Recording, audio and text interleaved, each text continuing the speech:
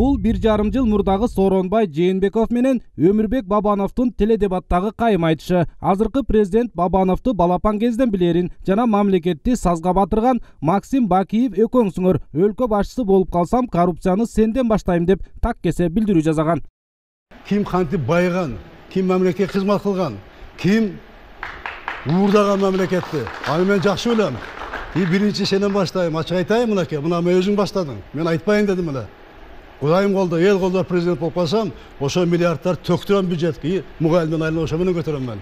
Ошондой коррупционер эсептелген отуз бештеги бар. По фамилия баары тең мен ошодон баштайм буюрса кыл чайнашкан кырдаал өмүрбек бабанов шайлоодо атаандашына жеңилип калган аны колдогондор митингге чыккан өзү саясий туруктуулукту сактайм деген негизде өлкөдөн чыгып кеткен. Жогорку кеңештин депутаты ырыскелди момбеков теледебаттагы айтылган ошол маселелер менен бийлик бере турган жыйырма беш суроону эл билүүгө тийиш эле деп эсептейт анткени ал киши ошол дебаттарда айтты. Кыргызстанда отуз беш мындай коррупционер бар. Мен чекесинен кылам мен жыйырма беш суроом бар деп айткандар бар. Эгерде ошол айткан коррупционер кимдер ал ошол кыргызстандан качып кеткен шадиев баш болгон адамдарбы бүгүнкү чынтан коомчулуктун ушундай суроолору бүгүнкү болгон президентке болгон ишенимди мындай алыстатып аткандай сезилет да.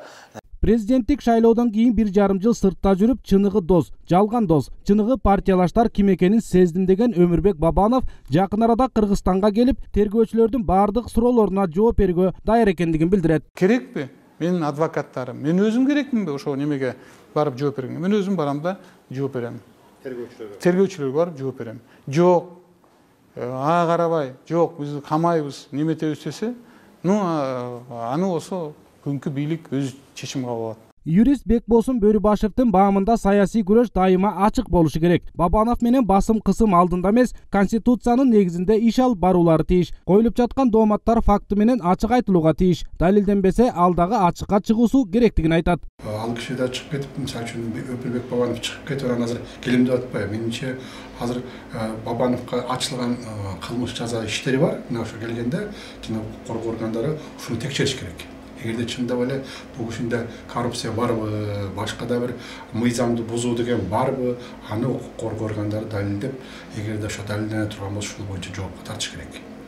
Жалал абад шаарынын тургуну максат абдукайымов кайтып келем деген саясатчынын максатын бизнестерин сактап калуу аракети катары баалады ал бир эле отуз адырдагы сүйлөгөн сөзү үчүн эмес мамлекетке келтирген зыяндары кээ бир заводдордун таланып кетишине жол бергендиги боюнча да жооп бериши керек деп эсептейт мына жалал абадты жакшы билесиңер мына ата заводду уже бабанов буну талкалап кеткен экен бирок кийинки бийлик менен жеке келишимдин негизинде кандайдыр бир ультиматумдар менен ушул жакшы билесиңер кимге өтүп кимдер аркылуу сатылып огромный байлык жерлер он беш миң доллардан сатылды да мен билгенден он миң доллар чекелери он беш миң доллар сатылып кетти мынакей кандай бир жалал абад областындагы бир эки миң үч миң иштей турган ишкана жок болуп кеткен саясаттануучу орозбек молдалиев бабанов келе турган болсо ал президент менен соодалашкан деген пикир жараларын белгилейт анда өлкө башчысынын коррупцияны сенден баштайм деген убадасы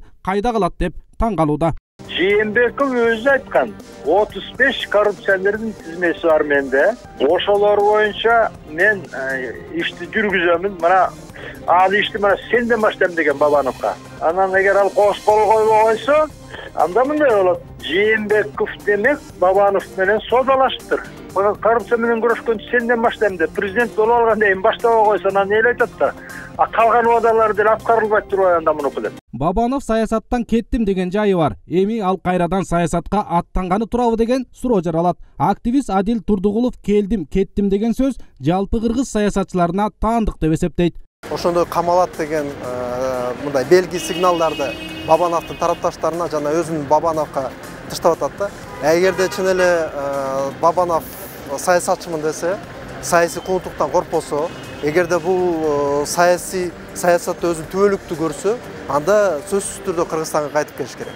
Анткени эгерде кайтып келбесе анда аны колдогон адамдардын дагы саны суй берет азая берет. Эксперттер жана саясат талдоочулар бабанов өлкөгө сөзсүз келиши керектигин белгилешет. Болгону ал өзүнө карата тагылып жаткан айыптар боюнча мыйзам алдында жооп бериши керектигин айтышат. Ал эми анын тарапташтары бийлик менен сүйлөшүүлөр жүрүп жаткандыгын ачыкташкан. Ич ара тил табышышабы же маселе мыйзам аркылуу ачык айкын чечилеби? Суроо азырынча ачык бойдон. Алтынбек бектуров алымбек бектурганов азиз самарбеков жетинчи канал бишкек.